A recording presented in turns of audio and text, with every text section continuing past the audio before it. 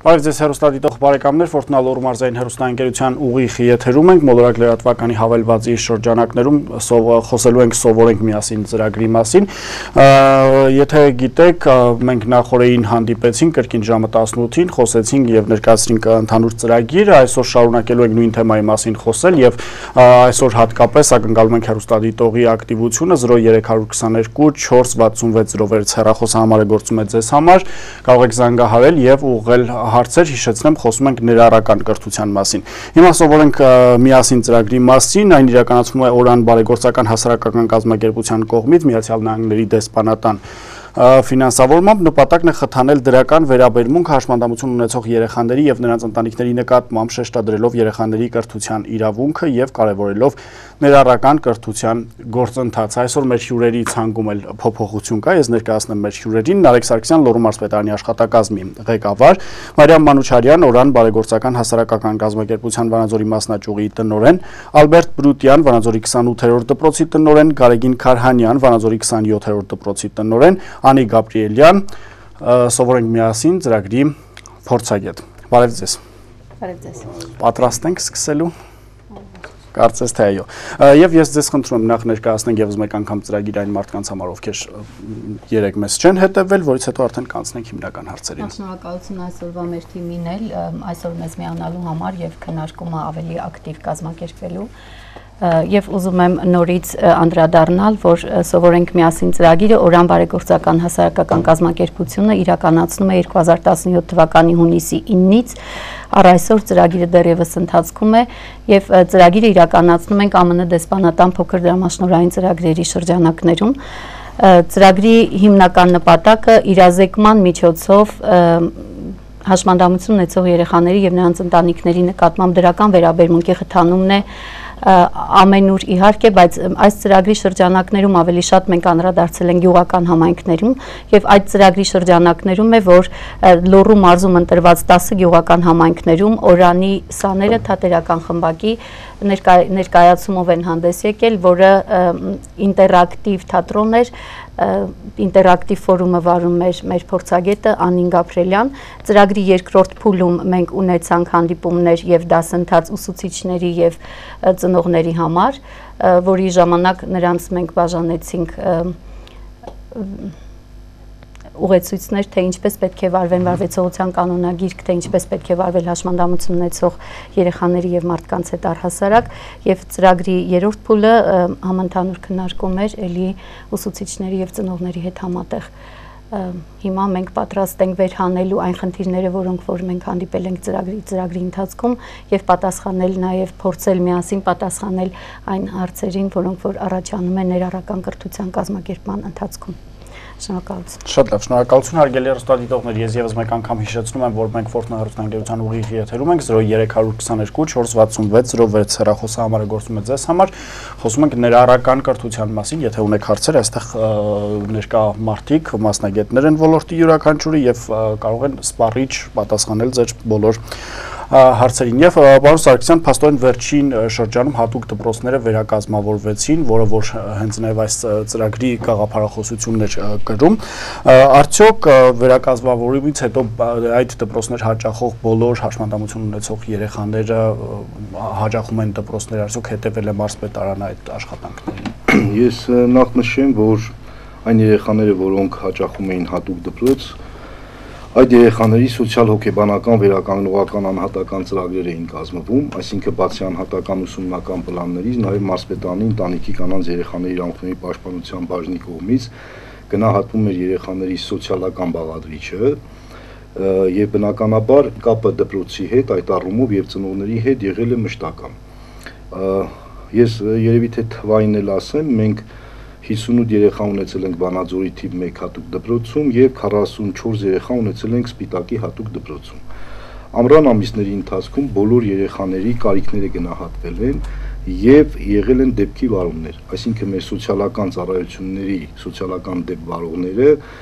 բոլոր երեխաների տուն այցեր են կատարել եւ բնականաբար գնահատել են երեխաների կարիքները։ Ինչպես նաեւ մենք փորձել ենք օգնել երեխաների ծնողներին ճիշտ ուղղորդելու համար տեսեք ինչումն էր խնդիրը։ Խնդիրը կայանում է նրանում, որ ճիշտ է մենք անցել ենք համընդհանուր ներառական կրթության, բայց մենք շատ լավ գիտեինք, որ երեխաները, որոնք որ հաճախելու են հանրակրթական դպրոցներ, կարող են լինել խնդիրներ։ Ես կարող եմ նաև օրինակ բերել։ Օրինակ Սպիտակի հատուկ դպրոցի Չենավան համայնքում մենք ունենք երեխա,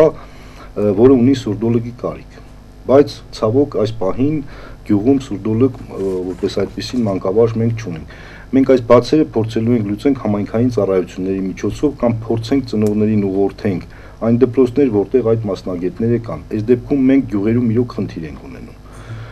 Ինչ վերաբերվում է Վանաձոր համայնքին, ապա ես պետք է նշեմ, որ Մարսպետանի աշխատակազմի կրթության վարչությունը եւ երեխաների իրավունքների պաշտպանության բաժինը ի սկզբանե ուրեմն շրջաբերականներ են ուղարկել դպրոցներ եւ մենք արդեն ինֆորմացված ենք, թե հատուկ դպրոցի երեխաները որ դպրոցներ են հանրակրթական դպրոցներ են հաճախելու եւ եւս մեկ անգամ դպրոցական կոլեկտիվին առաջարկել ենք առավել ուշադիր լինել այդ երեխաների նկատմամբ։ Տեսեք, հաշմանդամություն ունեցող երեխաների համար ես երեք էլ նշեցի, որ այսօր մեր դպրոցների 70-80%-ը հարմարեցված չեն, որովհետեւ համաձայն միջազգային կոնվենցիայի հաշմանդամություն ունեցող երեխաները պետք է տվյալ հաստատության գոնե 80%-ին կարողանան մատչելիություն, մենք պետք է մատչելիություն ապահովենք։ Այսօր խոսել այդ մասին, որ մեր դպրոցներում դա կա, մեղմ ասած ճիշտ չէ, բայց ամեն դեպքում փորձում ենք եղած ռեսուրսները համակարգել, այսինքն առաջին հարկում երեխաների համար ստեղծել միջավայր գոնե առաջին հարկում, որը հասու է հաշմանդամություն ունեցող երեխային։ Բնականաբար խոսել այսօր ամբողջությամբ դա ապահովել լիֆտերով, ինչպես թիվ 10-րդ դպրոցի տնօրենը երեք ներկայացրեց, մենք չենք կարող։ Հատուկ դպրոցների երեխաները գտնում են ուշադրության կենտրոնում նաև այն առումով, ես շատ շնորհակալ լինելով հատուկ դպրոցի կոլեկտիվներին, հստակ պետք է նշեմ, որ այնտեղ կրթական բաղադրիչը գտնում էր բավականին ցածր մակարդակի վրա։ Տնային ուսուցումների մասին չեմ ուզում խոսեմ, անին երևի կխոսի այդ մասին դպրոցում եւս մենք ունեինք 4-րդ, 5-րդ, 6-րդ դասանի երեխաներ, որոնք տառերը չգիտեին։ Մենք ունեինք երեխաներ իհարկե հատուկ կարիքներով երեխաների մասին է խոսքը, այստեղ կային օբյեկտիվ եւ սուբյեկտիվ պատճառներ։ Ես հիմա էլ եմ կրկնում, մեր կրթական ծրագիրը հատուկ կարիքներով երեխաների համար շատ արագ վերանայման կարիք ունի, որը եւ կրթության եւ գիտության նախարարությունում այսօր գտնվում է ընթացքի մեջ։ Եվ այս խնդիրները մենք մեր մարզից, մեր միջազգային գործ մեր միջազգային եւ տեղական կառույցների գործընկերների հետ բազմիցս բարձրաձայնել ենք։ Ես ձեզ վստահեցնում եմ, որ մենք պետք է անենք հնարավորինս, որպեսզի մեր հատուկ դպրոցից հանրակրթական դպրոցներ գնացած երեխաները կարողանան շատ արագ ինտեգրվել եւ ուսումնական process-ին եւ ինչու՞ չէ նաեւ դպրոցում տեղի ունեցող բոլոր process-ներին։ Շատ լավ, եւս երկու կարևոր հա, հարց, որ միանգամից եմ ուզում ուղղել, այ հիմնականում երևի թե ֆինանսական խնդիրն է, հա, որ դպրոցները չեն, այսինքն ներդրումներ, ֆինանսավորում չկա, որ դպրոցները չեն։ Բնականաբար։ Շատ լավ։ Եվ երկրորդ հարցը այսօր դպրոցներ են վերանորոգվում եւ նոր կառուցվում։ Արդյոք մարզպետարանը եւ համապատասխան կառույցները հետևում են, որ գոնե այդտեղ չլինեն խախտումներ։ Միանշանակ նորակառույց ոչ միայն դպրոցներում, այլ ցանկացած դա կլինի մասնավոր սեկտրի հետ, դա կլինի պետական բյուջեի կամ միջազգային դոնորների միջոցով, բոլոր կառույցներում մեր քաղաքաշինության վարչությունը վերահսկում է այդ process-ին, որpիսի հնարավորինս պահպանվեն այն նորմերը, որոնք նախատեսված են հաշմանդամություն ունեցող անձանց համար։ Շատ լավ եւ անին որպես համակարգի այսպես փորձառու մարդ եւ երկարամյա փորձով արդյոք այդպես է հատկապես նոր կառուցվողների իմաստով։ Հիմնականում փորձում են քաղաքաշինության մասին այդ օրենքը պահպանել եւ այդ օրենքի շրջանակներում կառուցել այդ թեք հարթակները։ Դա նաեւ գալիս է նրանից նախագիծը չեն հաստատում միջև նախագծով չի լինում գծած այդ թեքահարտակները, բայց այլ հարց է, արդյոք դա նորմալ են ստանդարտներին համապատասխան են կառուցում կամ կառուցվում է։ Եթե նայում ես նախագիծը կա, միջև շենք մտնելը կարծում եմ բոլորն էլ կառուցում են, բայց օրինակ մեր քաղաքում հարկային տես, տեսչության բակի այդ թեքահարտակը նայում ես, ծիծաղդ գալիս է, որ, որևէ մեկը 4 հոգով էլ չեն կարող սալյակը բարձրացնել այսպես այդ կառուցված։ Պահպանված է նորմերը, բայց ինչ ձևով Պարզա օգուտ չի տալիս մի խոսքով գումարներ է ծախսվել։ Ես կցանկանայի խոսել այդ մասով մեր գյուղական համայնքների դպրոցների մասին։ Երկու հարկանի դպրոցներ են, երեք հարկանի դպրոցներ են, պարզ է, որ եթե հաշմանդամություն ունեցող երեխան գնա, առաջի հարկում պետք է կազմակերպվի դասապրոցեսը։ Բոլոր դպրոցներում գրեթե կան թեքարտակներ կառուցած, բայց այ դռներ այդ դռները շատ նեղ են անգամ նորմալ մարդը չի կարողանում մտնել դուրս գալ։ Ցավոք մի քանի դպրոցներում էլ այդ պահին վերանորոգում էր ընթանում ու հետևողական չէին նաև այդ հարցին։ Անգամ դպրոցի տնորեններն էլ չգիտեին իրենք, որ համընդհանուր ներառական կրթություն պետք է իրականացվի եւ մտածում էին ինչ որ փաստաթղթային հարցեր պետք է լուծեին, նոր անցնեին ներառական կրթության ու դերևս իրենց պետք չէր այդ հարցով զբաղվել։ Այսինքն նրանց մոտ իրազեկության պակաս էլ կար, իրանք չգիտեին, որ համընդհանուր է այդ ներառականությունը, էլի։ Շատ լավ, եւ կարծես թե բոլոր խնդիրների հիմքում հենց ընկած է իրազեկումը պակասը։ Շատ լավ, գանք արդեն Վանաձորի 28-րդ դպրոցին, ձեր դպրոցում ինչ իրավիճակ է, գիտեմ որ դուք ծրագրին փաստորեն չեք մասնակցել, բայց ներառական կրթություն իրականացվում է արդեն երկար տարիներ, որքանով է հաջողված, որքանով է հարմարեցված դպրոցը, ինչ խնդիրներ ունեք լուծելու։ Ուրեմն Վանաձորի T28 դպրոցը 2016 թվականի հունվարից է իրականացնում ներառական կրթություն։ Ունի այս պահին 30 աշակերտ, որոնք ներառական կրթության ծրագրի մեջ էին եւ տարբեր խնդիրներով երեխաներ կան մեզ մոտ հիմնականում ուրեմն ծանր կան նաև ծանր մտավոր, թեթև մտավոր, հենաշարժողական խնդիրներ ունեցող երեխաներ, հոգեհուզական խնդիրներ ունեցող երեխաներ եւ քանի որ նաև նշեմ, որ Վանաձորի թիվ 28 դպրոց հաճախում են նաև մանկատան սաները 35 աշակերտ եւ նրանց հետ կապված հենց ներառական կրթության մեջ նաև նրանք նրանցից ուրեմն ներգրաված են եւ նրանց շատերի մոտ հենց այդ խնդիրը կա հոգեհուզական խնդիրներով ուրեմն երեխաներ են ասեմ որ մենք քանի որ ավելի շուտ ենք անցել ներառական կրթության, քան համընդհանուր ներառական կրթությունը մեր մարզում մենք տեսել ենք որոշակի արդյունքներ երեխաների մեր աշակերտների այս ուրեմն ծրագրի հետ կապված եւ ես կարծում եմ որ համընդհանուր ներառականությունը օգտակար կլինի նաև մյուս դպրոցներում այսօր եթե համընդհանուր ներառական կրթություն է իրականացվում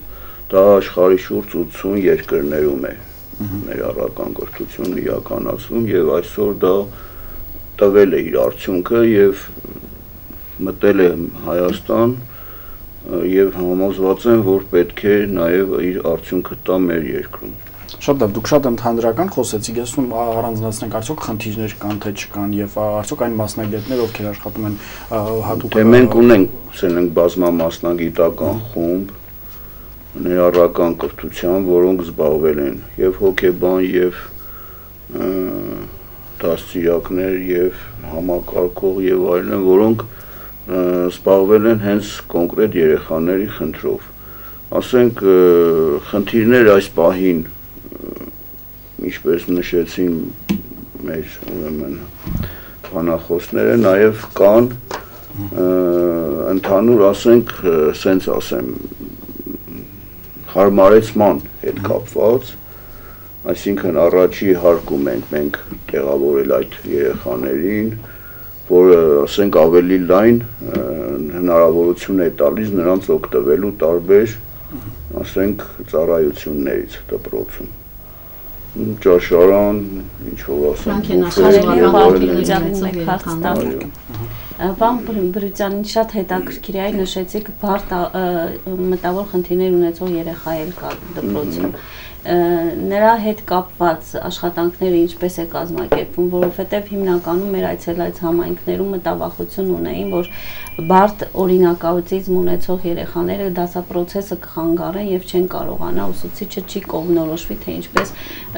դասարանում դաս պարապի եւ արդյունքների հասնի։ Իհարկե այդ խնդիրը կա, կարելի ասել դա շատ ամենաբարդ ներառական կրթության մեջ նման երեխաները ասենք ամենաբարդ իրավիճակն է այս պահին համարվում դպրոցական այդ շրջանում, որովհետև իհարկե ուսուցիչները սկզբնական շրջանում նման երեխաների հետ նրանք այսպես ասած իրենք դեռ պատրաստ չեն մի անգամից այդ երեխաների հետ աշխատեն բայց ընթացքում արդեն ասենք երեխան հիմա ներառական կրթությունը իր անունը կա այսինքն հիվանդ երեխային կներեք սենց ասեմ կամ խնդիրներ ունեցող երեխային ներառել առողջ երեխաների հետ, որ เป զի նրա մոտ նույնպես դրական դինամիկա բարձրանա, առաջանա։ Եվ դա է խնդիրը, որ ասենք մենք ուզում ենք, որ հնարավորինս աշխատանքով, իհարկե դա ինչքանով կստացվի, մենք դեռևս այդ փուլում ենք եւ աշխատելու ենք, որպեսզի ստացվի այդ հարցը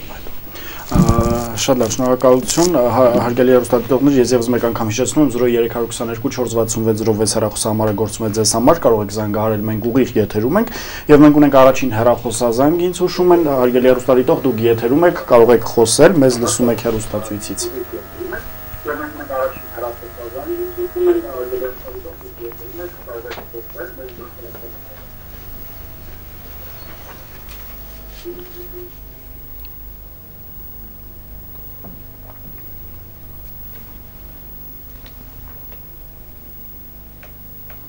Հարգելի հեռուստադիտող, դուք եթերում եք, կարող եք խոսել։ Բարև ձեզ։ Բարև ձեզ։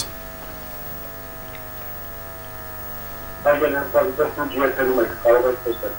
Բարև ձեզ։ Իմ հարցս հետևյալն է։ Ես ունեմ երկու երեխա, որոնք Իմ հարցս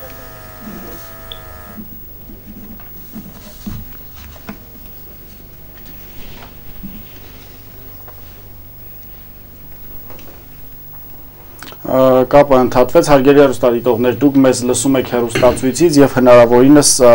շատ ձայնը բարձր չեք պահում հեռուստացույցի որպեսզի տեխնիկական խնդիրներ չառաջանան եւ դուք կարծես թե հարց ունեիք ձեր հարցը լսում եք մեկ հարց ունեի պարոն Բրուցյանին կապված ներառական կրթության գործընթացի հետ քանի որ արդեն երկար տարիներ դուք այդ գործընթացի մեջ է ձեր դպրոցը ասում եք որ ուսուցիչները շատ ժամանակ իրենք իրազեկված չեն եւ չգիտեն ինչպես վարվեն աուտիզմ ունեցող կամ այլ խնդիրներ ունեցող երեխաների հետ։ Արդյոք փորձել եք ծնող ուսուցիչ կապը պահել, որովհետեւ նախ որքանով է ծնողը ինքը տեղեկացված իր երեխայի խնդիրներից, որքանով է ծնողը իրազեկված թե այդ խնդիր ունեցող երեխայի հետ ինչպես պետք է վարվեն եւ արդյոք փորձել եք կապը պահել ծնող ուսուցիչ եւ օգնել են իրար թե ոչ ուզում եմ հասկանալ այս այս այս մի մեթոդը, այս մի օղակը ինչպես է աշխատել։ Ուրեմն իհարկե ծնողը ուսուցչի հետ մշտական ուրեմն կապի մեջ է, հենց ծնողն է բերում իր երեխային առավոտյան դպրոց։ Նաև մենք ծնողը եւ ուսուցիչը ունենում են ասենք զրույցներ երեխայի վերաբերյալ, քանի որ ուսուցիչները ոչ բոլորը գիտեն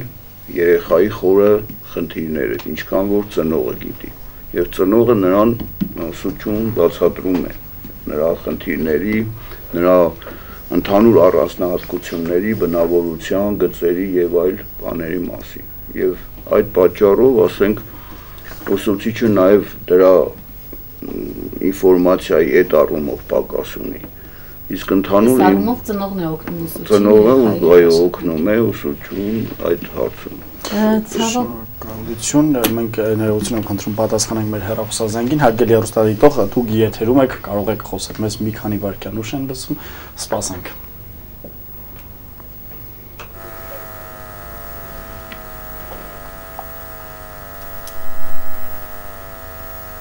Այո, ներողություն իմ կապն ընդհատվեց, իմ հարցը կիսատ մնաց քանի որ իմ երեխաներից երկուսը ընդգրկված են ներառական ուսուցման եւ նրանք մեկը դպրոցագնում, մյուսը տնային ուսուցում պետք է ստանա։ Քանի որ դպրոցում չունենք մասնագետներ, լոգոպեդ եւ հոգեբան, ես ում պետք է դիմեմ նման հարցերով։ Որ դպրոցի մասին է խոսքը, կարող եք ասել։ Համայնքը դպրոցը։ Քաղաքից։ Իսկ գրել էր կարծեմ ասած։ այո, Խաղակալավերդի Բաղամյան թամա Բաղամյան թաղամաս համար 10 դպրոց։ Շնորհակալություն։ Իսմնա Ջուլետան Աղակաշյան։ Ահա, ինչ կպատասխանենք։ Ճիշտ ասած, sense եզրակացություններ չանենք, բայց ոնց որ թե ծանոթ էր խնդիրն էս։ Խնդիրը նաև մարսպետանին է քաչայտնի եւ երեխաների պաշտպանության բաժնում եւ կրթության մենք այս ընտանիքին շատ ենք աջակցել, տարբեր որտեղ ընտանիքը նաև լուրջ սոցիալական խնդիրներ ունի, բնակարանային խնդիր եւ այլ եւ այլն եւ մենք Ալավերդիում ունենք դեռևս նա դպրոցներ, իրենց ուղղորդել ենք մենք այդ դպրոցներ, որտեղ ունենք մենք նաև Ալավերդիում եւ լոգոպեդ, ոնց որ թե լոգոպեդի խնդիրը։ Հա, լոգոպեդի խնդիրը։ Այստեղ գիտեք մի փոքր խնդիր է առաջանում։ Ծնողի իրավունքն է իր երեխային, որ դպրոց պետք է տանի։ Եվ կարծեք թե մասնավորապես պետական մարմինների միջնորդությունը եւ թիմերի միջնորդությունը այս պարագայում դիտվում է որպես միջամտություն համենայն դեպս ուղղորդում, եթե փորձենք այսպես ասել,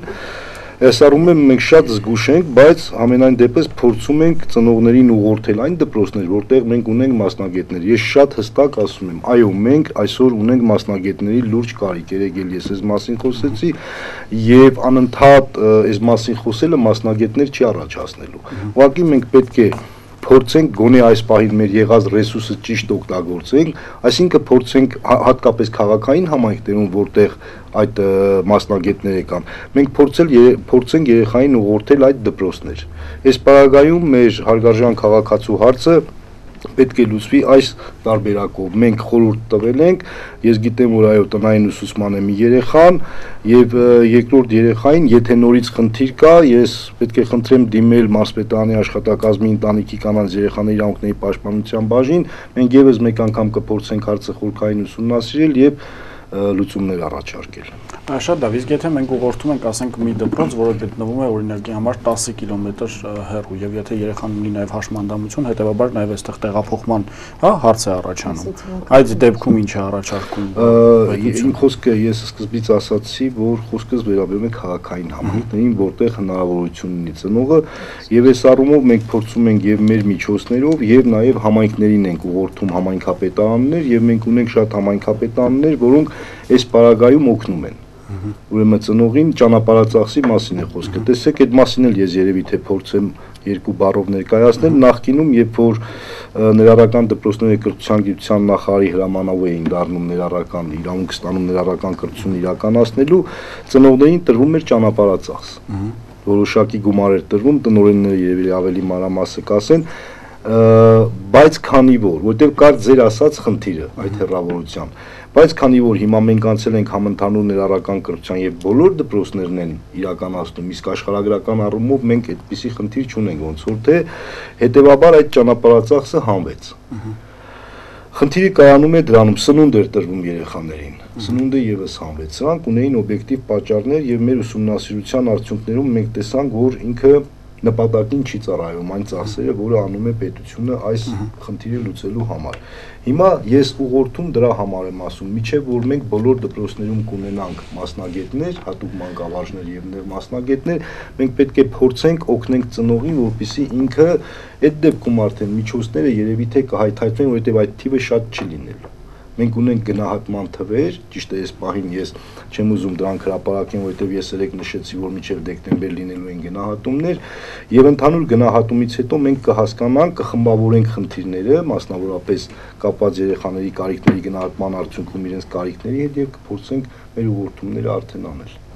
Շատ լավ, շնորհակալություն։ Մեր տաղավարում է նաև Վանաձորի 27-րդ դպրոցի տնօրենը, ձեր դպրոցը եւս ներառական կրթություն է իրականացնում երկար տարիներ։ Ուզում եմ նաև ձեր դպրոցի փորձով կիսվեք, արդյոք հաջողված է ձեր փորձը, եթե ոչ ինչու եւ որոնք են խնդիրները։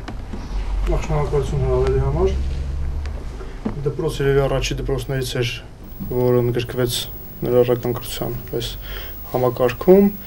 Ինչպես ցանկացած նոր աշխատանք, նոր պրոյեկտ, նոր գործի սկիզբ, իհարկե դժվարություններ կար եւ հիմնական դժվարությունը կապված էր ինֆորմացիայի պակասի հետ։ Եվ ծնողը, եւ ուսուցիչը, եւ մենք բոլորս ինֆորմացիայի կարիք ունենք։ Այսինքն ինչ պետք է լինի, ինչ գործիքակազմ, ինչպես եւ այլ։ Եվ վստահության պակաս կար առաջերտին ծնողների կողմից համակարգի նկատմամբ։ եւ մի փոքր էլ թյուր կարծիք եւ ըմբռնում կար կապված ներառական կրթության հետ, որովհետեւ այսպեսի շակերտ պիտակավորված երեխաների ինչ որ ընկալում կար բայց փառք Աստծո վերապատրաստումները, հանդիպումները, սեմինարները եւ սերտ աշխատանքը ծնող ծնողական համայնքի հետ եւ համապատասխան մարմինների հետ թույլ տվեցին շատ արագ ցրել այս մտավախությունը եւ հիմա կարող եմ վստահորեն ասել, որ բավականին սահուն մենք մտանք աշխատանքի մեջ եւ նաեւ հետեւյալն էր հեշտացնող որպես հանգամանք ասեմ, որ մեր երեխաներն էին գնահատվում։ Այսինքն այն երեխաները, որ ովքեր արդենից դպրոցում սովորում էին։ Այսինքն իրենք որպես այդպեսին ընդգրկված էին համակարգում, ներառված էին համակարգում։ Եվ մենք ճունեինք ծանր խնդիրներով երեխաներ շարժողական խնդրի խնդիրներով մտավոր, այսինքն թեթև էր, որը թույլ տվեց հեշտությամբ համակարգը կյանքի կոչել։ Եվ որպես խնդիր դուք հարցրեցիք գոլեգայից, ուզում նշեմ այդ ինֆորմացիայի պակասը։ Եվ քանի որ մենք ճունեինք հնաշարժողական եւ այլ խնդիրով երեխաներ, այդ պայմանները այդքան էլ մեզ չէին խանգարում։ Չնայած մենք ունենք դասասենյակներ ներառական կրթության համար նախատեսված բավականին մեծ աշխուժություն եւ ուրախություն առաջացրեց ծնողական համայնքի մոտ լոգոպեդի ներկայացումը դպրոցում։ Որովհետեւ բավական երեխաներ հենց գնահատվել էին խոսքի խանգարման պատճառով եւ լոգոպեդի կարիք ունեին իրոք այս պայդրությամբ նաև որոշակի փոփոխություններ կա հունվարից կարգ է փոխվել բայց կարծում եմ ամենից սահուն շատ լավ եւ հետաքրքիր է այ նշեցիք որ առավել փոքր հա խնդիրներ ունեցող երեխաներ եւ այլն եւ այլն եթե այսօր կա դպրոց մի քիչ ավելի գլոբալ խնդիրներ ունեցող եւ այլն պատրաստ է դպրոցը ընդունել այսինքն ընդհանուր առմամբ հարմարեցված է թե ոչ ընդհանուր առմամբ այո մենք ունենք թեկահարտակ բայց չունենք վերելակ բայց մենք առաջի հարկում ենք կազմակերպում այսինքն այդ խնդիրները որ բոլոր դպրոցները ունեն մենք էլ ունենք բայց հուսով եմ, որ թիմի ջանքերի աշխատանքի արդյունքում միգուցե լիարժեք չլուծենք, բայց կթեթևացնենք այն խոչընդոտները, որ կխանգար երեխային ներառվել եւ կրթությունը շարունակել դպրոցում։ Շատ լավ, շնորհակալություն, հարց ունեիք։ Հարց չէ, հա, բայց ծնող ուսուցիչ կապի մասին էի ուզում խոսել։ Ուրեմն, եթե նորից մեր գյուղերի մասով ասեմ, որ այցելել էինք, այդ գյուղերում 100% կարելի է ասել ծնող ուսուցիչ կապը պահպանվում էր։ Ինչպես էր պահպանվում։ Նրանք իրենց հաշմանդամություն ունեցող երեխային, որ բերում էին դպրոց, մնում էին դպրոցում։ Մասնակցում էին այդ դասա process-ին միջանցքում էին լինում, դասասենյակում էին լինում, այսպես միշտ տեղեկացված էին միշտ իրենց երեխաների հետ էին, բայց ներառական կրթություն իրականացնելու նպատակներից մեկը նաև այն էր, որ երեխային ընտանիքից հանել, որպես անհատ փորձել ձևավորել, որպես անհատականություն կայանալ։ Եթե ծնողից երեխան չի կտրվում, parzavor չի կարողանա ինքը գտնի իր տեղը, դերը այս հասարակության մեջ։ Այսինքն այդ էլ արդեն չափազանց շատ է, էլի ծնողի ու ուսուցչի կապը։ Եվ ես ճիշտ ասած դպրոցներում ասեցի, որ կամած կամած գնացեք նրան, որ ծնողները թողնեն իրենց երեխաներին դպրոցներում։ Այստեղ նորից վերադառնում ենք այն հարցին, որ մատչելի չի, սանհանգույցը մատչելի չի դպրոցի մուտքը, որ երեխան կարողանա օգտվել սանհանգույցի, հանգույցից եւ ծնողի կարիքը չի լինի։ Հա Շնորհակալություն հարգելիներս, հարգելի հեռուստադիտողներ, մենք բազմիցս խոսում ենք, որ իրազեկվածության մակարդակի ցածր լինելը շատ մեծ խնդիր է այս հարցում եւ նույնքան մեծ խնդիր է նաեւ ծնողների անտարբերությունը իրենց երեխաների նկատմամբ։ Եւ հիմա, ինչպես թողարկման սկզբում նշեցի, այստեղ մարդիկ են, ովքեր կարող են ձեր հարցերին լիարժեքորեն պատասխանել։ Մենք ուղիղ եթերում ենք, Fortnite հեռուստաընկերությունը ուղիղ կապի հնարավորություն է ստեղծել ձեզ համար 0322 466 06 հեռախոս հեռախոսահամարը գործում է ձեզ համար։ Հիշեցնեմ, մենք խոսում ենք սովորենք միասին ծրագրի մասին, որը իրականացրել է եւ իրականացնում է Օրան բարեգործական հասարակական կազմակերպությունը Միացյալ Նահանգների դեսպանատան աջակցությամբ նպատակն է խթանել դրական վերաբերմունք հաշմանդամություն ունեցող երեխաների եւ նրանց ընտանիքի նկատմամբ շեշտադրելով երեխաների կրթության իրավունքը եւ կարեւորելով ներառական կրթության գործընթացը։ Արգելի հեռուստադիտողներ, Ֆորտունա Լոռու մարզային հեռուստաընկերության մոլորակ լրատվական ծառայությունը շարունակում է աշխատել ուղիղ եթերում։ Խոսում ենք սովորենք միասին ծրագրի մասին, որը իրականացնում է Օրան բարեգործական հասարակական կազմակերպությունը Միացյալ Նահանգների դեսպանատան ֆինանսավորմամբ եւ մեր տաղավարում են Նարեկ Սարգսյանը, Լոռու մարզպետարանի աշխատակազմի ղեկավար, Մարիամ Մանուչարյանը, Օրան բարեգործական հասարակական կազմակերպության Վանաձորի մասնաճյուղի տնորեն Ալբերտ Բրուտյանը, Վանաձորի 28-րդ դպրոցի տնորեն Գարեգին Քարհանյանը, Վանաձորի 27-րդ դպրոցի տնորեն Անի Գաբրիելյանը, նշված ծրագրի փորձագետ հիշեցնեմ, որ 0322 46606 հեռախոսահամարը գործում է ձեզ համար, կարող եք զանգարել եւ ուղղել ձեր հարցերը մեր հյուրերին, բանախոսներին եւ հարգելի հեռուստադիտողներ, պետք է մատնեմ իմ հյուրերին, այստեղ քիչ առաջ շատ ակտիվ զրույց էր գնում այն մասին, թե բան մասնագետների վերապատրաստման հետ կապված ինչ խնդիրներ կան եւ միանգամից անդրադառնանք։ Նախ այն մասնագետները, ովքեր ոլորտում լավ մասնագիտացված են եւ ճունեն աշխատանք, կարծում կարող են դիմել ձեզ եւ որևէ խնդիր չունենան աշխատանքի տեղավորման հետ կապված։ Բայց այս հարցում պետական մոտեցումը ինչպիսին է, ինչու ունենք մասնագետների պակաս, որն է խնդիրով կպատասխանի։ Փորձեմ պատասխանել, որովհետև ի սկզբանե, երբ որ 2009 թվականից ներառական կրթությունը մուտք գործեց մեր մարզ եւ նոր սկսվեցին գնահատումները, որոնք այդ ժամանակ արվում էին Երևանի հոգեբանամ այն ժամանակ բժշկա հոգեբանաման կավարժական կենտրոնի կողմից, ու այս գնահատումներից հենց ի հայտ եկան երեխաներ, որոնք դպրոցներում պետք է ներառական համակարգում լինեին Ես մեկ անգամ եւս նշեցի, չեմ ուզում այսօր վերջնական թվեր հրապարակեմ, բայց ստիպված եմ այս պահին ասեմ, որ ընդհանրապես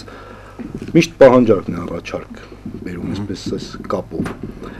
Մեր մանկավարժական համալսարանում մենք այսօր ճունենք հատուկ մանկավարժության բաժին կամ ինչպես ասում են դեֆեկտոլոգիայի բաժին, այո մենք հիմա բանակցությունների մեջ ենք հետեւյալ առաջարկն ենք մենք անում, որ ներկա պահին, երբ որ բաժինը բացվի, 4 տարի գոնե պետք է, որպեսզի մենք ունենանք արդեն համապատասխան շրջանավարտներ։ Իսկ 4 տարին դա այս պարագայում բավականին շատ է եւ առաջարկում ենք, որ մագիստրատուրայում մենք ունենանք այդ մասնագիտություններ, մեր մանկավարժները գնան եւ մագիստրատուրայում արդեն վերապատրաստեն։ Ես ասեմ նաեւ, որ հույսի կամուրջ հասարակական կազմակերպության հետ արդեն իսկ մենք փորձում ենք վերապատրաստումների միջոցով ունենալ մասնագետներ, ինչպես ասում են, մենք գոնե կարողանանք այս առաջին փուլում մանավանդ գյուղական համայնքներում ես սահուն ուզում եմ նաև կապեմ ծրագրի հետ, որովհետև այո մեր հիմնական խնդիրը գյուղական համայնքներում են։ Ես ձեզ վստահեցնում եմ, որ Վանաձորում եւ քաղաքներում, մեր մարզի քաղաքներում ունեցած մասնագետներով մենք կարող ենք այս պահին որոշակի մեղմել եւ ծածկել այս խնդիրը։ Մեր հիմնական խնդիրը գյուղերում է։ Ես պետք է նշեմ, որ նաեւ թիվը այդքան էլ մեծ չի, թեպետ ի սկզբանե ասեմ, որ յուրաքանչյուր երեխայի ճակատագիրը դա բնականաբար պետք է լինի պետության հոգացության ներքո։ Այստեղ թվային տվյալներ չէ։ Ուղղակի ուզում եմ նշեմ, որ այս առումով եւս տարվում են աշխատանքներ եւ հետո գիտեք չենք կարող մարդուն ստիպել մասնագետ մասնագիտություն ընտրել։ Ի վերջո դա հենց ինքը մարդու ցանկությունն է, բայց ես համոզված ու վստահ եմ, որ մեր ուսուցիչների մեջ իրոք կլինեն շատ մասնագետներ, որոնք մագիստրատուրայում կշարունակեն իրենց մասնագիտացումը։ Այստեղ ուղղակի մի որոշ պայմաններ պետք է ապահովի։ Հիմա մենք մեր մանկավարժական համալսարանի, մեր պետական համալսարանի ղեկավարության հետ արդեն իսկ բանակցությունների մեջ ենք, պետք է առաջարկ արվի նաև կրթության եւ գիտության նախարարությանը, ես փորձեմ մի հարց կանխեմ նաև երբվանից պետք է դա անենք, ես նորից եմ կրկնում, մենք միջև չունենանք վերջնական գնահատում, որպեսզի հասկանանք ինչ պահանջարկ ունենք մեր մարզում այս պահին։ Որտեվ ասեմ ես, ինքը հեշտ գործընթաց չի ամեն դեպքում կապված ծախսերի հետ կապված մի խոսքով շատ խնդիրներ կան, կրթական ծրագրեր եւ այլ եւ այլ բայց ազգային ինստիտուտի հետ կրթության եւ հույսի կամուրջ կազմակերպության հետ լինելու են շարունակական վերապատրաստումներ։ Հոգեբանամանկավարժական գնահատման թիմերը լինելու են դպրոցներում անընդհատ։ Իրենք նաեւ մեթոդական խորհրդատվություն են տալու դպրոցներին։ Իսկ մենք հոգեբանամանկավարժական կենտրոններում ունենք մասնագետներ, այսինքն կփորձենք, որ բացը կա, կա, որ խնդիր ունենք, ունենք, դա բնական է, ուղղակի պետք է փորձենք քայլ առ քայլ այս առումով։ Հիմա ես մի բան էլ ավելացնեմ, 10 գյուղում ծրագիրը արվել է, վեր են հանել խնդիրներ, հրաշալի է։ որովհետև կոնկրետ մարզպետարանը չի կարող միայնակ իր ուժերով փորձել ամբողջ մարզում համակարգել եւ այդ խնդիրը արվում է մեր գործընկերների միջոցով կոնկրետ 10 գյուղում մենք արդեն հստակ գիտենք ինչ խնդիրներ կան Փարքասու անին շատ լավ ներկայացնում է եւ Ես իմ մոտ ես իմ մոտ նշում եմ ամբողջությամբ, իրոք այս խնդիրները կան եւ լինելու են, ես ասեմ, որ լինելու են, այո, այդպես է լինելու, պետք է խնդիրները բարձրացվեն, խնդիրներին լուծում տրվի։ Այս առումով Փարքասո մարզպետարանը շատ թափանցիկ է աշխատում, այո, մենք առաջին հերթին փորձում ենք վեր հանել խնդիրները, որպեսզի գտնենք նաեւ լուծման ճանապարհները։ Շատ լավ, եւ համոզված եմ գործող մասնագետներ կան, չէ՞, որ մասնագետների պակաս կա, բայց մասնագետներ էլ կան։ Մեկը մյուսի հետ աշխատելով, մեկը մյու փորձի փոխանակման միջոցով արդյոք հնարավոր չէ որոշակիորեն դաշտը գոնե նորմալ մակարդակի բերել, հետո արդեն երբ որ կթողարկի, ասենք 4 տարի հետո մանկավարժականը կթողարկի կադրեր, նոր մտածենք այդ մասին։ Մենք այդ փորձն էլ ունենք, Արգելի Սարգիս, ես ասեմ, որ մենք այդ փորձն էլ ունենք եւ մի շատ կարեւոր բան եմ ես ուզում ավելացնել, ես մենք առաջարկել ենք մեր հաշմանդամների հարցերով հանձնաժողովի ժամանակ մեր իմ երկու գործընկերները նաեւ հանձնաժողովի անդամներ են Այս առումով տեսեք մենք կենտրոնացել ենք դպրոցների եւ կրթության վրա, բայց մի շատ կարևոր խնդիր էլ ունենք։ Մենք պետք է նաեւ ցերեկային մասը ապահովենք, ցերեկային խնամքի մասը։ Ես առաջարկել եմ մեր հասարակական կազմակերպության այն գործընկերներին, որոնք ցերեկային խնամք են իրականացնում եւ իհարկե մյուսներին, որովհետեւ մենք փորձենք նաեւ հատուկ կարիքներով երեխաների ծրագրեր բերենք։ Հիմա Տիգին Մանուչարյանի հետ մենք պայմանավորվել ենք, որ որոշակի օրանի հետ մենք պետք է տանենք աշխատանքներ այս երեխաների ուղղությամբ։ Ես ասեմ նաև, որ հիմա կառավարությունում է գտնվում մեր մարզի տրանսֆորմացիոն պլանը ներառական կրթության եւ երեխաների իրավունքների պաշտպանության ոլորտում, որի արդյունքում մեր խնամքի կենտրոնը, գիշերային խնամքի կենտրոնը դառնալու է ցերեկային կենտրոն եւ բաղադրիչներ ունենք մենք երկու, ինքը 4-ից 17 տարեկան երեխաների ցերեկային կենտրոն է դառնալու,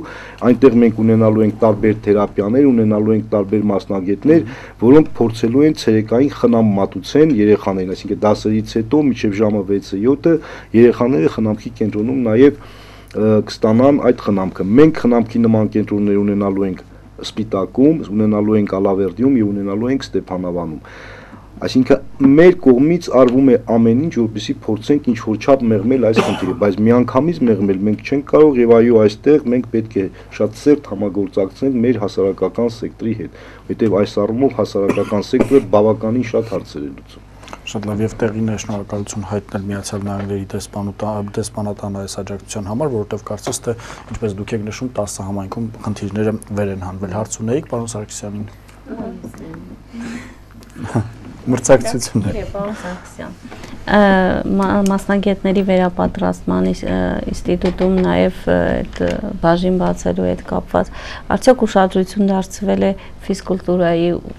դասատուների վերապատրաստմանը, որովհետև նորից այդ համայնքների մասով ասեմ, ֆիզկուլտուրայի ուսուցիչները չգիտեին ինչպես պետք է աշխատեն հաշմանդամություն ունեցող երեխաների հետ։ Այսինքն այդ երեխաները այդ դասաժամը բաց են թողնելու, թե գնալու են, ինչ աշխատանք են անց հետ տարվելու։ Այսինքն նրանք էլ ունեն պակաս փորձի։ Անկեղծ ասած, մենք երբ որ այս խնդիրը միանգամից չի լուծվելու, անիջան, սա պետք է դրվի քննարկման բնականաբար եւ առաջին հերթին մեր հանձնաժողովում աշխատանության հարցերով։ Մենք միջև ընդհանուր դու գիտեք մեր ծրագիրը, մենք միջև բոլորի հետ ընդհանուր քննարկումներ չենք անում, որևէ քայլ այս առումով չենք անում այնպես որ կքննարկվի շնորհակալություն այդ հարցը բարձրացնելու համար եթե շատ անկեղծ ասեմ ես չէի էլ մտածել այդ մասին այնպես որ մենք մեր բոլոր գործընկերների կարծիքները իմ իմ կարծիքով այս ծրագրից հետո դուք նաև կներկայացնեք մեզ ձեր փորձագիտական կարծիքը եւ բնականաբար մենք սա հաշվի կառնենք բոլոր գյուղական համայնքներում Եվ գիտեք ինչ էի հենց հիմա մտածում, որ պատահական չէ, որ փորձարարությունների համար ընտրում են Լոռու մարզայ հարգելի հերոստատիտողներ, ինչպես տեսնում եք, քաղաքացիական հասարակության ներկայացուցիչը պետական կառույցի ներկայացուցիչի հետ, այսպես շատ հանգիստ զրուցում են խնդիրների մասին, համաձայնության գալիս եւ այդ ամենը ուղիղ եթերում Ֆորտունա հերոստանգերության։ Եվ քանի որ խոսեցինք մասնագետների մասին, ես դպրոցի տնօրեններին եմ ուզում հարց ուղղել, ձեզ մոտ քանի մասնագետ է աշխատում այս ուղությամբ, արդյոք մասնագետների խնդիր ունենք թե ոչ։ Ես պատասխանեմ, այս բայդրությամբ մենք մասնագետի խնդիր չունենք, այսինքն ունենք լոգոպեդ, սոցմանկավար, հոգեբան, ունենք ուսուցչի օգնականներ, դաստիարակներ ունենք, որոնք վերափոխվեցին ուսուցչի օգնականների եւ միգուցե այն ուղությունները, օրինակ սուրդո մանկավարժ եւ այլը, որը մենք չունենանք, մեզ օգնի աջակցման կենտրոնները, որ հենց նպատակն էլ վերակառուցման դա է, այսինքն դպրոցները, որտեղ կունենան մասնագետներ, իրենք կփորձեն իրենք իրականացնել, որտեղ չեն ունենալ մասնագետներ, աջակցման կենտրոնները կօգնեն եւ այդ բացը կլրացնեն իրենք։ Ձեր դպրոցում ինչպիսն է իրավիճակը։ Մեր դպրոցում նույնպես բազմամասնագիտական խումբը կա եւ ինչպես նշեց պարոն Խարանյանը, մենք էլ ունենք դասիրակներ, որոնք նոր արդեն ուրեմն հրամանով նախարարի ուսուցչի օգնականների հաստիկներ են մտնում դպրոցում, որոնք ոչ միայն պետք է զբաղվեն ներառական կրթության մեջ ներգրաված երեխաների հետ, այլ նաև անմիջական օգնություն ցույց տան ուսուցչին, քանի որ այդ հարցը ուսուցչի համար արդեն ծանր է դառնում, նաև ինչ առումով, որ երեխաների հետ է աշխատում այդ ծանր վիճակով, որոնք հատուկ դպրոցներից են եկել դպրոցներ եւ և ուսուցչին պետք է օգնել նաև այդ առումով եւ նրա հետ կապված բոլոր փաստաթղթային հարցերում։ Եվ այդ առումով նաև ասեմ, որ մեր դպրոցում նույնպես նեղ մասնագիտական ասենք լոգոպեդ, սուրդոմանկավար, տիֆլո եւ այլն այս պահին դրա անհրաժեշտությունը չկա, որպեսզի ճունենք նման ծանրությամբ երեխաներ ունեցել են, որոնք նույն ժամանակ չեն եղել այդ մասնագիտական անձիկ, մասնագիտություն ունեցող անձիկ, ես էլ հառիթից օգտվելով շատ կուզեի, որ պետական համասանում էլ բացվեր Վանաձորի այդ բաժինը եւ մեր տեղում մեր լոռու մարզի տեկուս աշակերտները, որոնք պետք է դիմեն բարձրագույն ուսումնական հաստատություններ, հենց այդ մասնագիտություններով էլ դիմեն եւ մենք նրանցով լրացնենք մեր դպրոցներում մասնագիտության խնդիրները։ Պարզ է, որ Երևանում, եթե կա, Երևանում ավարտած ինչ որ ասենք մասնագետը չի գա մարզում աշխատի եւ առավել եւս այդ հերավորությունը չի կտրի գա եւ այդ երեխաները չի զբաղվի դրա համար շատ կարեւոր է որ մենք տեղում ունենանք այդ մասնագետները շատ լավ եւ նաեւ կա ձեր ունեցած մասնագետներին չեք կարող զիջել քեզ դրույքով ուրիշ դպրոցում էլ աշխատեն թե հասցնի մեծ հաճույքով շատ լավ ներողություն գուցե փորձեն քանի դեռ մասնագետները այստեղ չեն պատրաստվել Երևանի մասնագետներին համար ինչ-որ հրախուսական պայմաններ ստեղծել, որ մեր երեխաները դուրս չմնան այդ գիտությունից։ Կա չեն գա։ Չէ, ինչ պիտի երազանք լոռու մարզում աշխատանք։ Մաքուրով Օրինակ, քիչ որ Արմենիա ծրագրով շատ երիտասարդներ շատ սիրով գնում են եւ աշխատում են սահմանամերձ գյուղերում։ Երևանում էլ կա ինչ մասնագետների խնդրի պակաս ես վերջերս նախկին գոլեգաների հետ խոսում էի երեխաների պաշտպանությամբ Երևանում էլ կա այս խնդիրը այնպես որ սա համապետական համընդհանուր բայց նաև ասեմ կներեք որ այդ մասնագիտությունը շատ ծանր մասնագիտություն է նաև սենց նայենք շատ մարդիկ ասենք շատ երեխաներ որոնք ավարտում են դպրոցը հնարավոր է որ չուզենան գնան այդ մասնագիտության այդ կողմնորոշմամբ որովհետև գիտեք ըստ իս ամենալավ տարբերակը հենց դպրոցների աշխատակիցները մագիստրատուրայում երկրորդ մասնագիտություն ստանալով անցնեն այդ աշխատանքին կարծում եմ ամենալավ տարբերակն է իհարկե ես մասնագետ չեմ ոլորտի բայց այդ մասնագետները կես բժիշկ են եւ կես մանկավարժ են ինձ թվում է եւ հենց այդ օգնելու շահը բարի լինելը եւ մարդկանց օգնելու այդ մոտիվացիան պետք է լինի մեջը եւ դրա համար բոլորը չէ որ գնում են այդ ուղղությամբ իսկ նրանք ովքեր գնում են բրավո գիտենք որ շատ լավ մասնագետներ են ունենում շատ լավ քանի որ մեզ հատկացված եթերաժամանակը մոտենում է իր ավարտին երկու կարևոր հարցեր ճշտում ենք եւ փորձենք փորձում ամփոփել մենք այս օրերին երկու օրերին խոսեցինք հիմնականում դպրոցներում ներառական կրթություն իրականացնելու մասին եւ կարծես թե շրջանցեցինք տնային ուսուցում ուզում եմ դրա մասին խոսենք ինչպես է դա կազմակերպվում այսօր լոռու մարզում կան այդպիսի երեխաներ ովքեր օգտվում են որքան է այդ թիվը Այս պայդրության թիվը ներառական կրթության 42 է, տնային ուսուցումների ներողություն 42 է Ներառակ տնային ուսուցման համար բնականաբար պետք է առողջապահության համակարգի եզրակացությունը, տվյալ տարածքը սպասարկող բուսարայության եզրակացությունը, որում հստակ տեղեկանքի մեջ նշվում է, որ երեխան ունի այս այս այս խնդիրները եւ առաջարկում են տնային ուսուցում որից հետո ծնողը տեղեկանքը եւ համապատասխան փաստաթղթե ներկայացնում է մարզպետարան եւ մարզպետի կողմից արդեն տրվում է տվյալ դպրոցին, որ, որը որ ծնողը նշել է, իրականացնել տնային ուսուցում։ Հիմնականում կարգը այսպեսին է։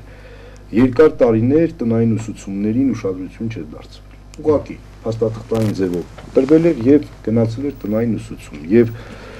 Այդ հարցը կոնկրետ ինչ շատ հետաքրքրեց որպես երեխաների պաշտպանության բաժնի պետ, մենք ՄԱԿ-ի մանկական հիմնադրամի հետ 2015 թվականին մարզում իրականացրեցինք ծրագիր եւ հետ ես եւ Իբլավ բարեկամանին այդ տնային ուսուցումների տուն այցեր են կարել 72, եթե չեմ 95-ն էին տնային ուսուցման։ Եվ տեսեք, երբ որ մենք արդյունքները ամփոփեցինք, միջայլոց ես ասեմ, որ այդ արդյունքների մասին նաև արևելաեվրոպական երկրներում այդ ամփոփ տեղեկագիրը մեր զեկույցը մեզնից թույլտվություն վերցնելով տարան միջազգային փորձագետներ եկան,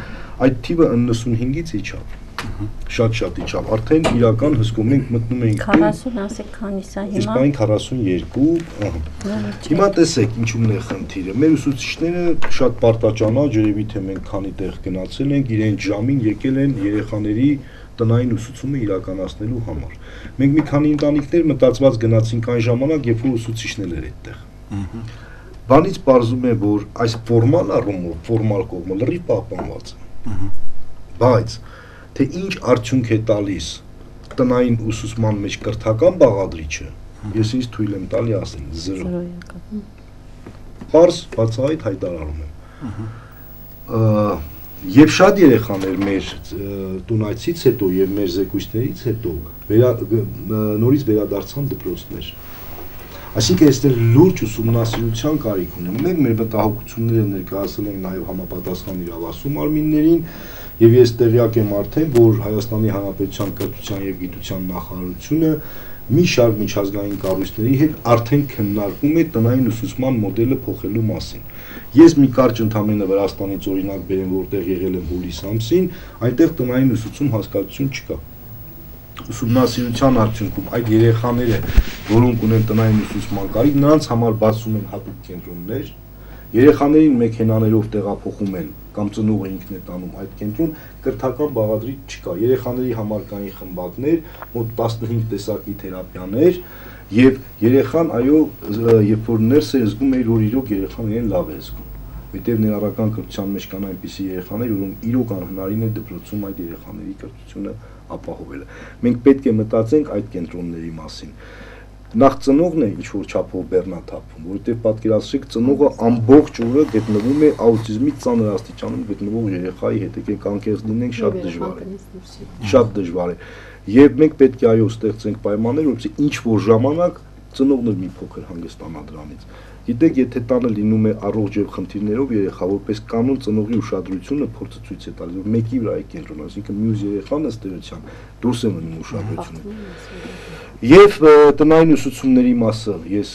սա պաշտոնապես հայտարարում եմ վերանայվում է արդեն կրթության եւ գիտության նախարարությունը, որտեղ մենք էլ ենք տեսել, որ այս վիճակով այլևս հնարավոր չէ առաջ գնալ, ինքը նաեւ շատ ծախսատար է, երևի դպրոցի տնօրենները կփաստեն ինքը նաև կրթության շատ ծախսատար բաղադրիչ է եւ մենք պետք է փորձենք պետական միջոցները եւ մեր միջազգային եւ տեղական գործընկերների միջոցները ծախսել առավել արդյունավետ եւ տեղի Շատ լավ, շնորհակալություն բոլորիդ եւ եթե ամփոփենք այս երկու օրերը, մեր գլխավոր եզրակացությունը այն է, որ առաջին տեղում իրազեկվածության շատ ցածր մակարդակն է, երկրորդ տեղում փաստորեն մասնագետների խնդիրը, երրորդ տեղում կամ գուցե սա բերենք առաջին տեղ հարմարավետ հարմարա հարմարությունը, մատչելիությունը դպրոցներում ամփոփիչ խոսք ինչ ունեք ավելացնելու եւ ուզում եմ պարտադիր հարցնել օրանում բացի այս ծրագիրը, որոնք որը վերաբերվեց փաստորեն հաշմանդամություն կազմակերպություն ունեցող երեխաներին այլ ծրագրեր իրականացվել են այս խմբի համար։ Այո, ուրեմն օրանում այս պահին էլ կան ներառական կրթություն անցնող երեխաներ, հենց հիմա ունենք 6 երեխաներ, որոնք ընդգրկված են ներառական կրթության մեջ, ունենք 5 երեխաներ, որոնք ունեն մանկուցաշման դամություն եւ էլի երեխաներ, որոնք ունեն առողջական խնդիրներ, որոնք այս պահին գնահատում չեն անցել, բայց կանցնեն եւ ասենք կներառվեն այդ կրթության մեջ։ Օրանը մշտապես ունեցել է այդպիսի երեխաներ,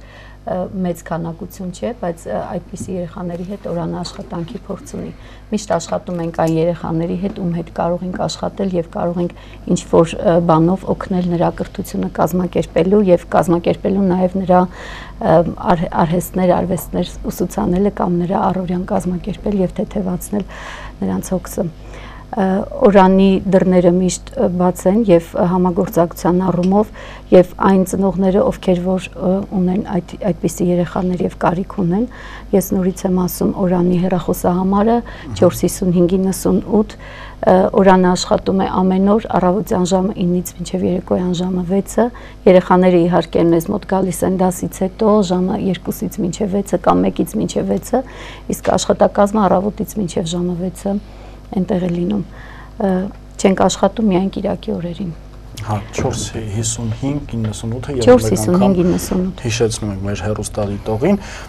եւ մի շատ ուրախալի բան այս երկու եթերներից հետո արդեն մենք մեր կողմից ավելացնենք, որ հասարակական կազմակերպությունը շատ ուրախալի է, որ իսկապես իր դերին հավատարիմ արդյունավետ գործունեություն է ծավալում, որովհետեւ եթե մենք հասարակական կազմակերպությունների պատմությունը ի սկզբանե ուսումնասիրում ենք, շատ հաճախ հանդիպում ենք այնպիսի կազմակերպությունների, որոնք այսպես գնալով գումարների հետևից որոշակի առաքելություն չեն կատարում եւ այս դեպքում շատ լավ է որ առաքելությունը կատարված է շնորհակալություն ձեզ եւ շատ լավ է որ այդ առաքելությանը շատ adekvat վերաբերմունք է տալիս Լոռու մարզպետարանը եւ հուսանք որ արդյունքներ կունենանք առաջիկայում որոնց հետ անընդհատ համագործակցություն ենք եւ բոլոր դպրոցներից ունենք եւ ձեր ծրագրի արդյունքները նաեւ խնդիրները պետք է բարձրաձայնվեն հաշմանդամություն ունեցող անձանց հարցերով զբաղվող Լոռու մարզային հանձնաժողովի նիստում արդեն ամբողջ վերլուծություն այո ովքեր հետաքրքրված են կարող են վերլուծությանը ծանոթանալ այդ նիստի շրջանակներում եւ շատ կարճ ունեք ավելացնելու որևէ բան սկսենք ձեզանից։ Ուրեմն ողջունում եմ ուղղակի նմանատիպ հանդիպումները, քննարկումները, որոնք ի կբացահայտեն խնդիրները, որոնք ուշադրության կարիք ունեն եւ ժամանակի ընթացքում կլուծեն շատ լավ լսում եմ ձեզ ավելացնելու Ես եմ շնորհակալ նման քննարկումների համար, որը օգտակար է։ Պարոն Սարգսյան Բնականաբար իմ շնորհակալությունը պետք է ծրագրին հայտնեմ ծրագրի կազմակերպիչներին։ Իմ ամենաթույլ կողմն են մեր գյուղերը։ Ես ինքս լինելով գյուղից, աշխատելով գյուղում, լավ պատկերացնելով գյուղական խնդիրները գտնում եմ, որ այսօր այո պետք է գյուղերում նման ծրագրեր շատ լինեն։ Պետք է նման ծրագրեր շատ լինեն, մենք այս ծրագրերով իրոք խնդիրները վեր ենք հանում, որովհետև ունենալով գործընկերների Տիկին Մանուչարյանի նման ծրագրի ղեկավար եւ իմ շատ լավ բարեկամանի նման փորձագետ ծրագրի ես վստահ եմ որ ծրագիրը այո խնդիրները վերեհանելու առանց երկմտելու ուղղակի ուզում եմ ես նշել որ այո լինելու են որոշակի կարծրատիպեր ցանկացած բարեփոխում միշտ շատ բարդ է լինում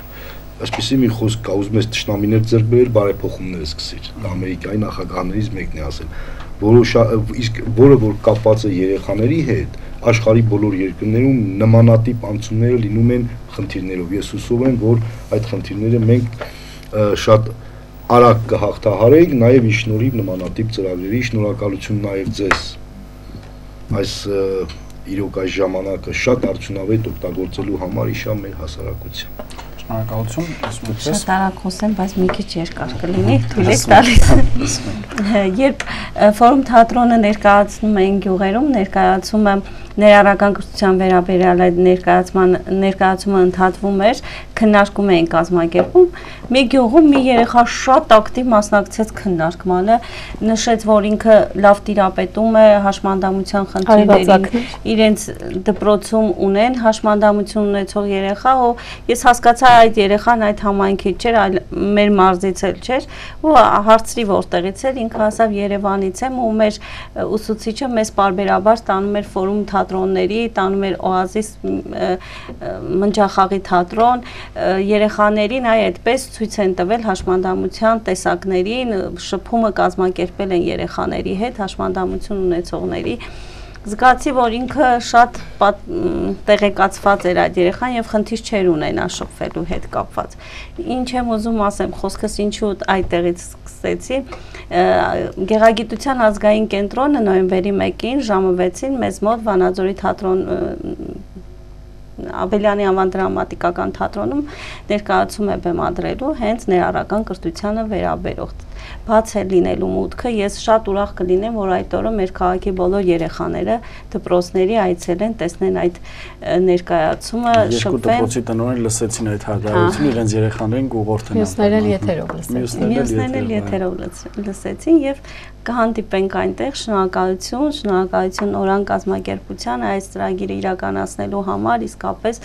մենք կարողացանք շատ խնդիրներ բացահայտել, համագործակցել պետական մարմինների հետ եւ համոզված եմ, որ այդ խնդիրները լուծում կստանան։ Բարեկամներ եք դարձել պետական մարմինների հետ լուծում Ես էլ եմ ուզում շնորհակալություն հայտնել մեր բոլոր գործընկերներից, ում հետ որ սկսեցինք այս ծրագիրը եւ դեռ շարունակում ենք իրականացնել Ես ուզում եմ ասել, որ ես չեմ ուզում հերքել, թե ինչքան մեծ աշխատանք է արվել այս ոլորտում, որովհետև եթե հետ նայենք 10 տարի առաջ, 5 տարի առաջ, թե ինչպիսին էր էլի իրազեկվածությունը եւ այսօր ինչպիսին է, բավականին շատ գործ է արվել։ Իհարկե գյուղական համայնքները դեռևս մնացել են բաց, որը մենք փորձում ենք այս կամ այն ձևով լրացնել միմյանց հետ եւ ուզում եմ ասել, որ երեխան ամենտեղ եւ այստեղ էլ գերակա շահը երեխայինն է եւ այն երեխայինը, որը վաղը մեր վաղվա զինվորն է, վաղվա պրեզիդենտն է, վաղվա բժիշկն է, վաղվա արհեստավորն է եւ բոլորս միասին հենց այդ գերակա շահին ենք ծառայում եւ սա մի վերելք է, մի գործընթաց է, որ մի դժվար վերելք, որտեղ պետք է մենք բոլորս ձեռք ձեռքի տված միասին բարձրանանք, որի համար ես ուզում եմ ասել, որ շնորհակալ եմ իմ գործընկերներից եւ բոլոր համագործակցողներից եւ այսուհետ էլ պատրաստ ենք միասին աշխատելու եւ բաց ենք աշխատելու համար շնորհակալություն։ Շնորհակալություն։ Եվ ձեզ շնորհակալություն եթերը հրաշալի վարելու համար։ Շնորհակալություն։ Եվ շնորհակալություն նաև մեր երեկվա տնօրեններին, դրանց եւս չենք մոռանում, շատ ակտիվ մասնակցության համար։ Եվ իհարկե ամենակարևորը պետք է նորից հիշել, երեք այդ մասին խոսեցինք, որ հաշմանդամություն ունեցող երեխաները ոչ մեկի խղճահարության կարիքը չունեն։ Ընթակառակ այսօր նրանք են խղճում այն հասարակությանը, որը դեռևս չի կարողանում լիարժեքորեն իրականացնել իր պարտքը, այն է մատչելի հնարավորություններ մի երկրում, որը արդեն վաղուց պետք է իսկապես ապահովեր։ Հուսանք, որ այդպես կլինի։ Ես հիշեցնեմ, խոսում ենք սովորենք միասին ծրագրի մասին, որը իրականացնում իրականացնում է Օրան բարեգործական հասարակական կազմակերպությունը Միացյալ Նահանգների դեսպանատան աջակցությամբ նպատակն է խթանել դրական վերաբերմունք հաշմանդամություն ունեցող երեխաների եւ նրանց ընտանիքների նկատմամբ շեշտադրելով երեխաների կրթության իրավունքը եւ կարեւորելով ներառական կրթության գործընթացը։ Հիշեցնեմ նաեւ այսօրվա զրուցակիցներից Նարեկ Սարգսյան, Լոռու մարզպետարանի աշխատակազմի ղեկավար, Մարիամ Մանուչարյան, Օրան բարեգործական հասարակական կազմակերպության Վանաձորի մասնաճյուղի տնօրեն, Ալբերտ Բրուտյան, Վանաձորի 28-րդ դպրոցի տնօրեն, Գարեգին Քարհանյան, Վանաձորի 27-րդ դպրոցի տնօրեն, Անի Գաբրիելյան, ծրագրի փորձագետ։ Ես տեղեկացնեմ նաև, որ մոլորակ լրատվականի գլխավոր թողարկումը ժամը 21-ին է, այդ թողարկման ընթացքում եւս ունենք հյուրեր, խոսելու ենք ծննդյան միանվագ նպաստների մասին, որոնք արդեն հնարավոր է ստանալ արցանց, իսկ այս թողարկման համար նախատեսել էինք այսքանը, շնորհակալություն ուշադրության համար։ Ստուդիայում աշխատում էր Սարգիս Կոքորյանը։